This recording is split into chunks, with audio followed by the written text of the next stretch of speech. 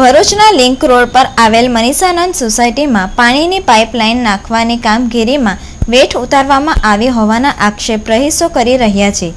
આ વેઠ ઉતાર કામગીરીના કારણે લોકોના પાઇપો પણ તૂટી જતા તેના રિપેરિંગ પણ સ્વખર્ચે કરવું પડ્યું હોવાનું તેઓ કહી રહ્યા છે. મનીષાનંદ સોસાયટીના રહીશો તેઓને પડી રહેલી હાલાકીના નિવારણ માટે જણાવી આક્રોશ ઠાલવી રહ્યા છે. અમારી સોસાયટીમાં મીઠા પાણીની લાઈન નાખવાનું કામ ચાલે છે. જે અમે એમની પાસે વર્ક ઓર્ડર માંગ્યો. વર્ક ઓર્ડરની ચોખ્ખું લખેલું છે કે ત્રણ ફૂટ ઊંડાઈથી પાઇપલાઇન દાબવાની છે. સાફ સફાઈ કરીને રોડ આપવાનો છે. અને જે ખોદકામ કરતા અમારા, જે પાણી હાલમાં ચાલુ છે, એની પણ લાઈન ત્રણ જગ્યાએ તોડેલી છે, જે એમને કહેવાથી કે અમે રિપેર કરી દઈશું. આ સુધી રિપેર નથી કરીને, અમારે જાતે રિપેર કરીને અમારે સાતસો હજાર રૂપિયાનો ખર્ચો જાતે ભોગવવો પડ્યો છે. અને સોસાયટીનું સફાઈ કામ પણ અમારે જાતે કરવું પડ્યું છે દરેક ઘરવાળાને અને કોન્ટ્રાક્ટરને કહેવાથી પણ એવું કહે છે, એટલે એવું કહે છે કે તમને ફાવે તે કર ફૂલ દાદાગીરી કરે છે.